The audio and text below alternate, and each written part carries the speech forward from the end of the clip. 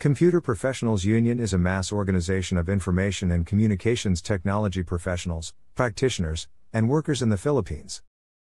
It is registered in the Philippines as a non stock, non profit, non government organization that promotes activist ICT principles and organize ICT professionals to provide ICT services to Filipino people.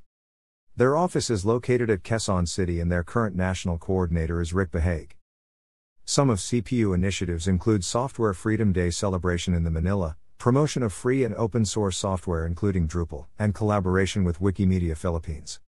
The organization was started in 2001 by a group of information communications technology practitioners. They officially registered under the Philippine Securities and Exchange Commission in 2008 as a non-profit and non-stock corporation. Meeting of Wikimedia Foundation, Wikimedia Philippines, and Computer Professionals Union at the CPU office in Quezon City. Third from the left is National Director Rick Bahague, and first from the right is Deputy National Director Gladys Regalado. CPU is notable for its belief that the ICT sector in the Philippines is controlled and dominated by foreign monopoly capitalists, which stunts the growth and development of Filipino technology and economy. CPU supports a truly nationalist and democratic government that will advance and promote a people's ICT. CPU believes that, like farmers, workers, and other sectors in the country, ICT workers also need to organize in order to advance their specific needs. A year before the 2010 Philippine general elections, CPU warned sophisticated cheating with the Philippines' first automated polls. They had hosted a national conference in University of the Philippines in Diliman, Quezon City to discuss the automated election system. Rick Bahague, CPU National Coordinator said that the goal of the conference was to gather experiences and best practices in technologies relevant to ICE. He further said that software bugs in the ICE system can affect machines to be used in the elections, and the automated election system is vulnerable to manipulation from inside or outside attacks.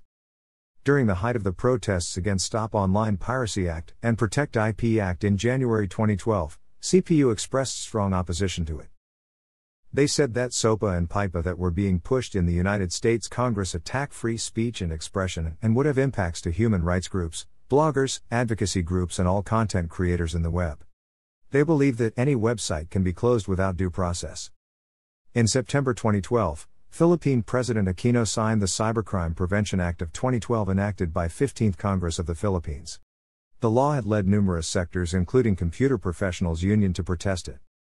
According to CPU, Sections of the law may have various interpretations that may lead to intentional or non intentional misinterpretations by state authorities wherein computer users can be punished without due process.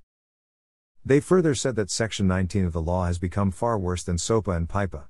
In advancing CPU's advocacy, these are their principles. Pandayan sa Daluyan, an event organized by CPU in May 2012 at Iligan City in Mindanao. Thanks for watching.